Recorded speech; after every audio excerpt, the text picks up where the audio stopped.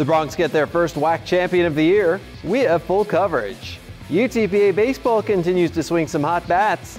And with the school year nearing its completion, it's time to give out some awards. We take you to the Student Athlete Awards Banquet. This is Bronc Country.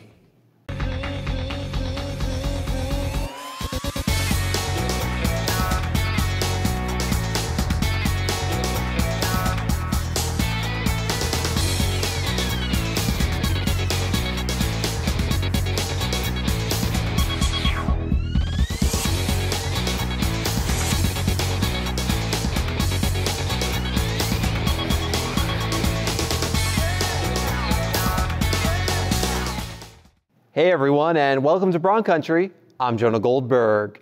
The UTPA men's golf team knew Nicolas Platret was going to be good when they recruited him, but he's been more than that. As a freshman, he's done something special that hasn't been done here in quite a few years. Anais Cortez has more. The Broncs have their first champion of the year, men's golf Nicolas Platret, after shooting a career best 5 under par 67 Platret came back from Arizona as the WAC individual champion. I feel very good. It's my first win in the USA, so of course I'm, I'm proud of it. And I think I won the, the most important tournament because it's a conference. Uh, my coach told me it was only 35 players, so I had a great chance to win. So I practiced very hard for that. And I went there like I wanted to win, but I knew a lot of good players were there. I tried my best and it worked pretty good.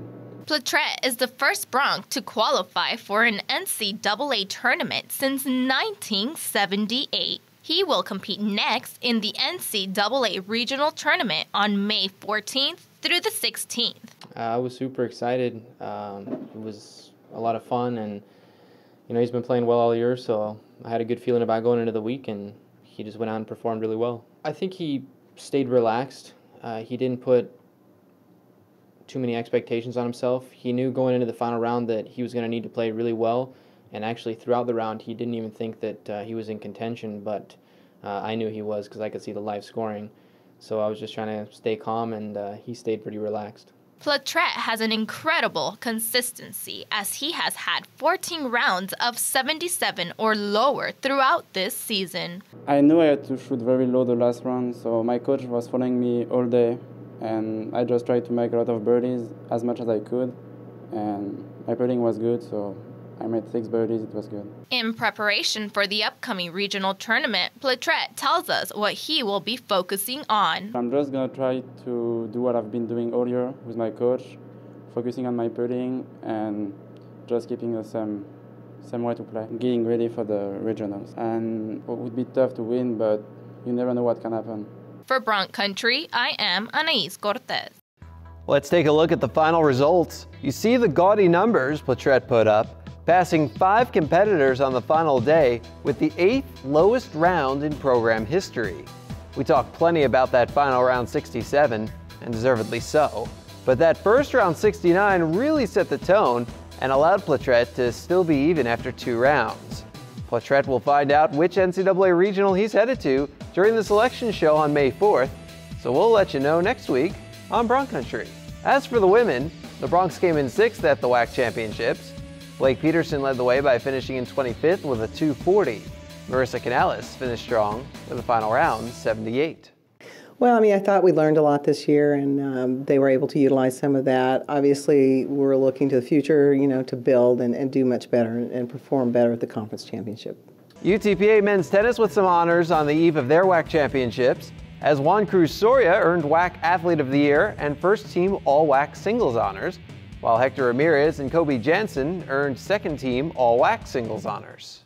Juan, player of the year. He went from last year as a freshman coming in in January um, to not winning, not being on first or second team last year, winning freshman of the year, which um, I thought he had earned at least one or two of those positions. And now for him in one year to go undefeated, 5 0 in the regular season, 2 0 in the postseason, so 7 0 overall, playing the number one position is tremendous. On to the semifinals match on Saturday. Originally scheduled for 1, the match started at almost 11 p.m. indoors after the outdoor courts were rained out. The Broncs performed well, with the duos of Juan Cruz Soria and Kobe Jansen, and Nicolas Cervelin and Elliot Johnstone leading the Broncs to a doubles win.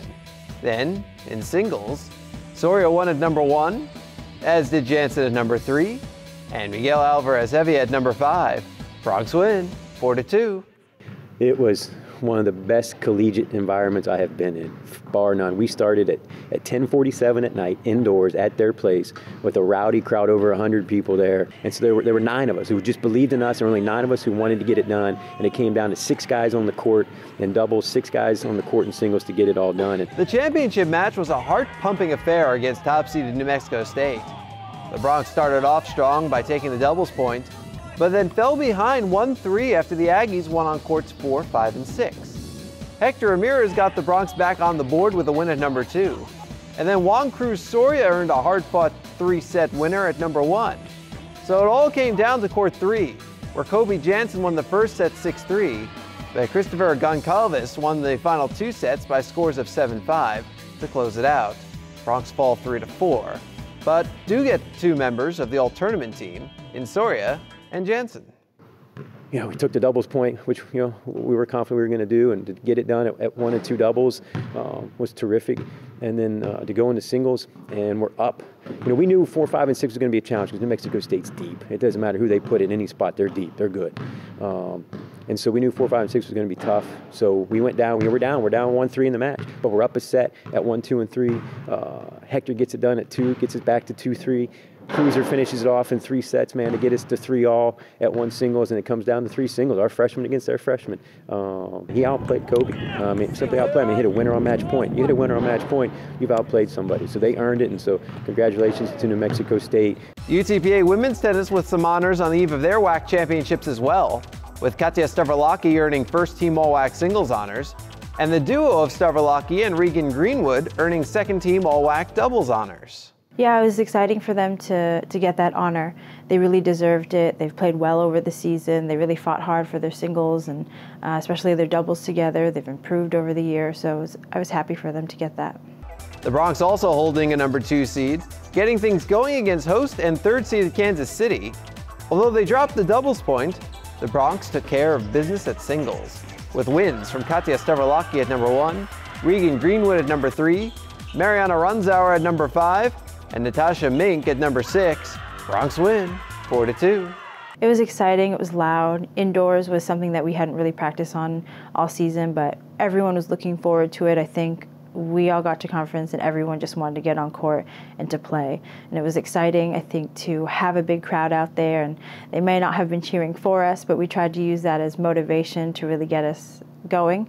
Uh, we struggled there at the first doubles point, but they came back strong and they really fought hard for their singles matches. In the championship match, the Broncs fell behind top seed New Mexico State early, and the Aggies pounced. The Broncs led at number six singles when play stopped after the Aggies clinched the match by going up 4 0. For their efforts, Katya Stavrolaki and Regan Greenwood earned all tournament team honors. That was a tough one for us. We knew going into it, it was going to be a battle for us. We just didn't have it there that day, but you know what? The girls gave it everything that they had over the season. Um, they deserve to get to the championship. I'm happy that they were able to get that far and um, really give all their teammates everything that they had. UTPA women's basketball announced another signing as well, bringing in guard Adele Turk out of Bodwell High School in North Vancouver, Canada. Turk averaged over 30 points per game in two seasons, including 32 points, 8 rebounds, 4 assists, and 3 steals per game as a senior. The 120th ranked player in the 2015-16 recruiting class by the Dan Olson Collegiate Girls Basketball Report, Turk has national team experience as she was part of the Turkish national team from 2012 to 14. Very excited to, to have her. Uh, she's a a true point guard, but she can play a combo guard. She's 5'9". She gives us some height at the point guard position. UTPA baseball entered this past weekend averaging more than eight runs per game over the last week. So what can they do for an encore? Next on Bronc Country, highlights from the Broncs series against Northern Colorado.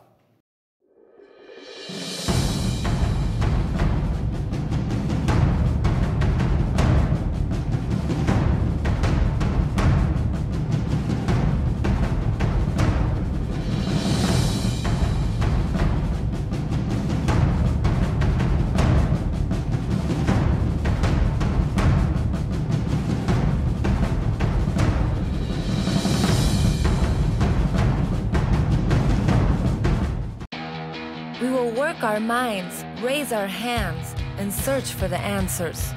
We will study the stars, learn to speak each other's languages, and hear each other's songs. We will make each tomorrow brighter, more prosperous, and completely new. We cannot predict the future, but we can and will build it. We will come together. The University of Texas, Rio Grande Valley. New opportunities for the 21st century.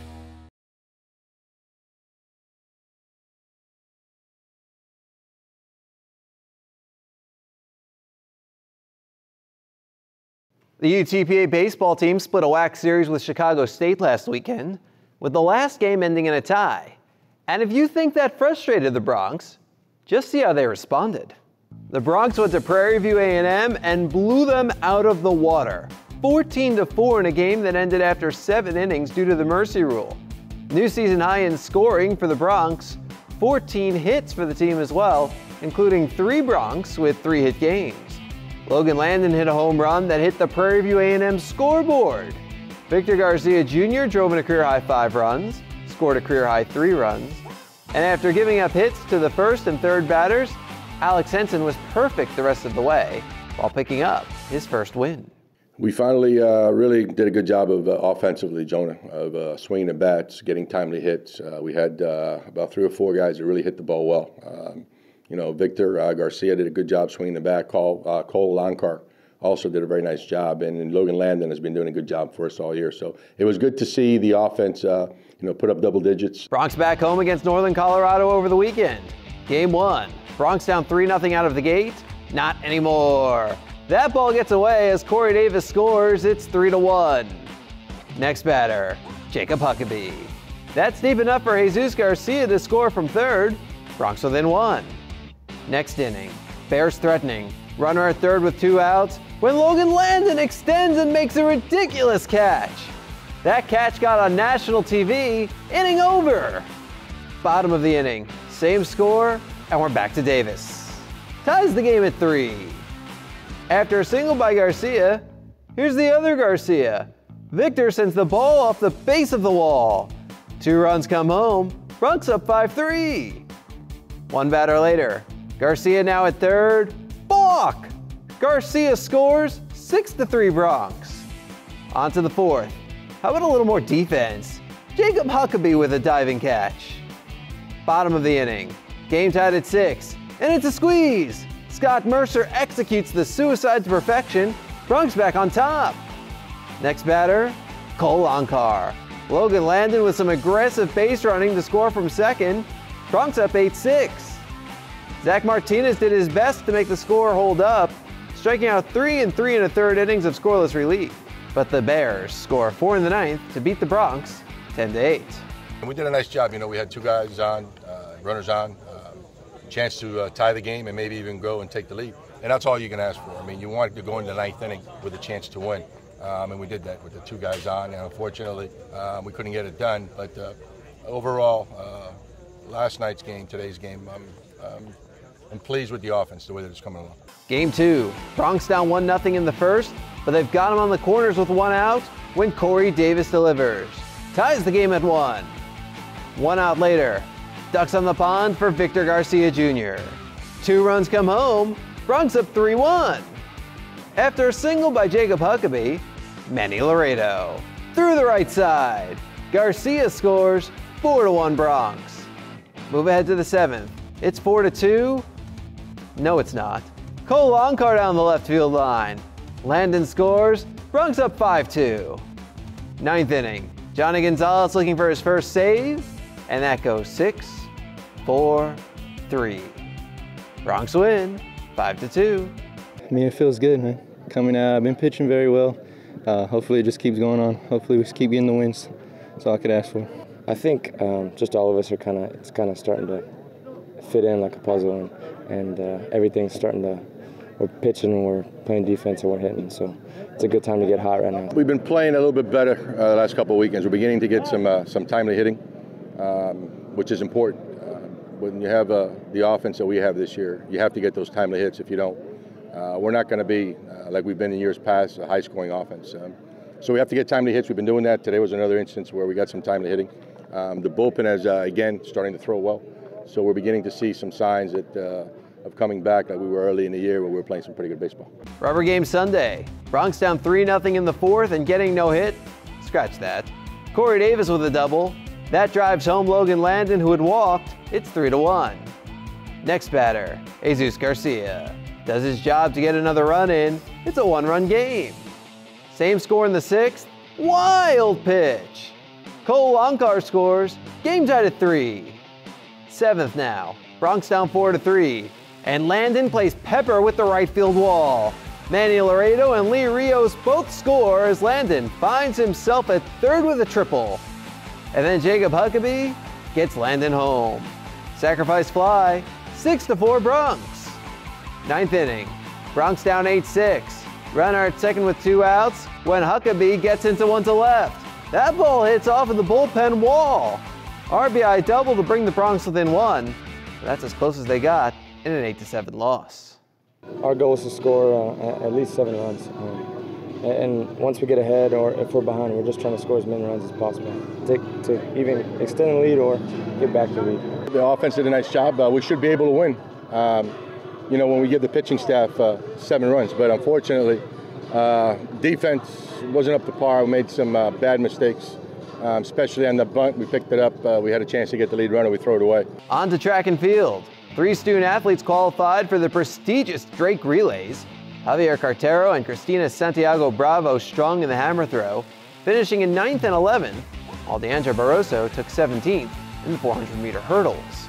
The rest of the team went up to Rice for the J. Fred Duckett Twilight, recording 14 top 10 finishes. Clarissa Gonzalez led the way by taking silver in the discus, Megan Shaw right behind her in fifth. Leokawan Williams placed third in the triple jump, while Mar Gonzalez came in sixth on the men's side. For complete results, you can log on to utpabroncs.com. Uh, it was a great meet for the team, um, I would say. We had a lot of great marks, uh, which is just what we're looking for at this time of the season, where we had the last competition before we head towards conference championships. We wanted to see everyone pretty much at their best, and we saw a lot of that. We saw a lot of great marks on the track, a lot of great improvements, and uh, in the field events as well. The majority of the UTPA athletic department got together on Sunday to celebrate a year of Bronc legacy. And you know what that means? Awards! Coming up on Bronc Country, we have the full slate of winners from the Student Athlete Awards Banquet.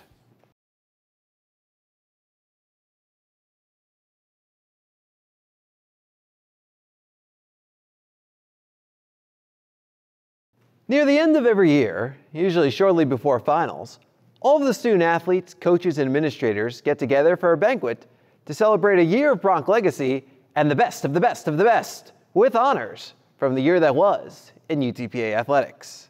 Romeo Villarreal has the story.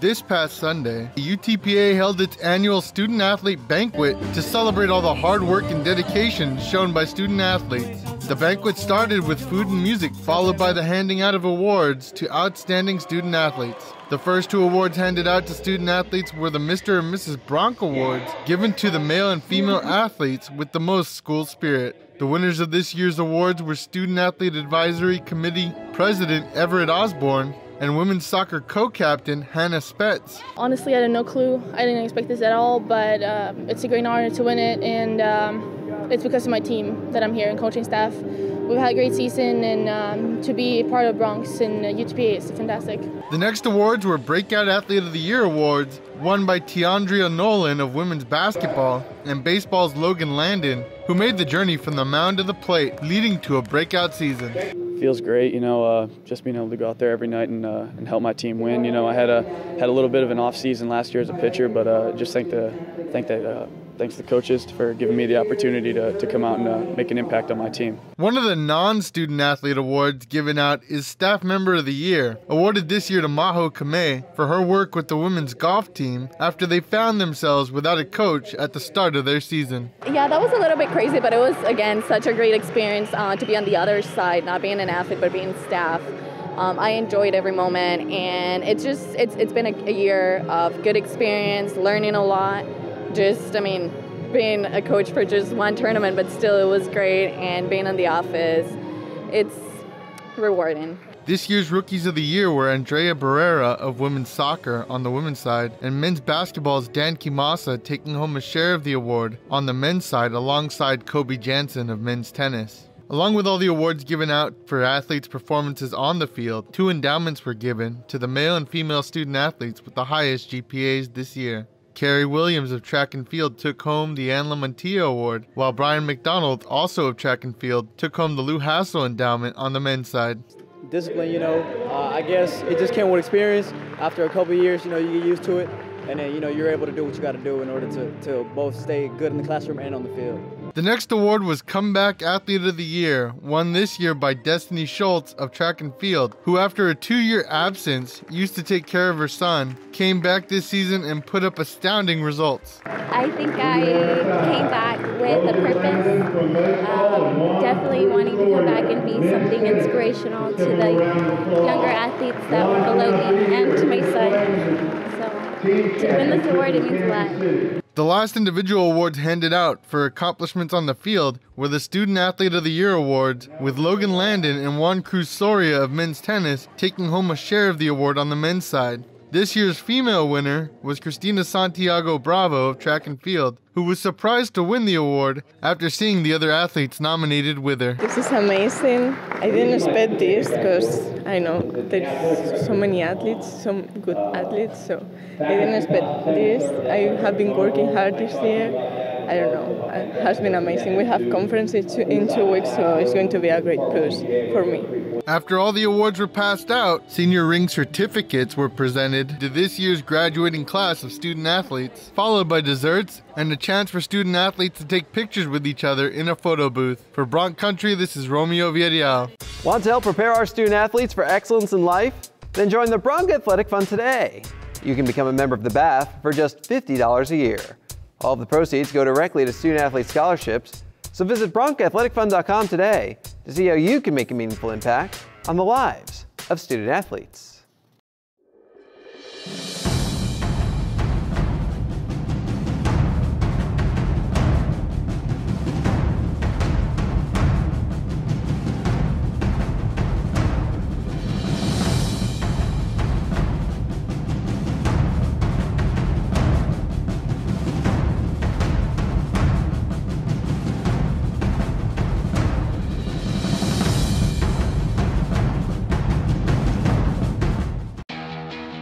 Work our minds, raise our hands, and search for the answers. We will study the stars, learn to speak each other's languages, and hear each other's songs. We will make each tomorrow brighter, more prosperous, and completely new. We cannot predict the future, but we can and will build it. We will come together. The University of Texas, Rio Grande Valley. New opportunities for the 21st century.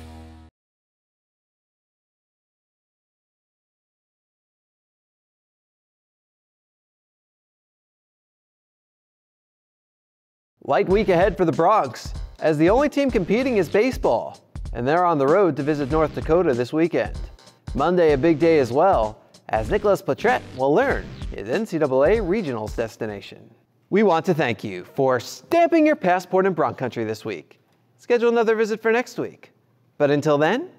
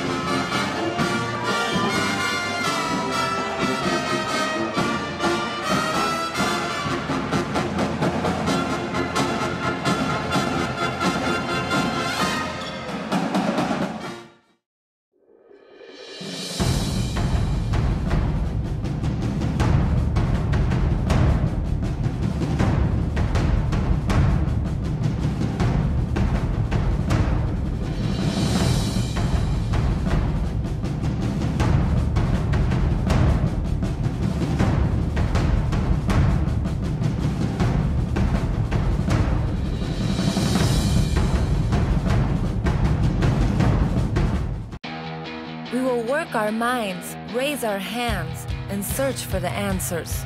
We will study the stars, learn to speak each other's languages, and hear each other's songs.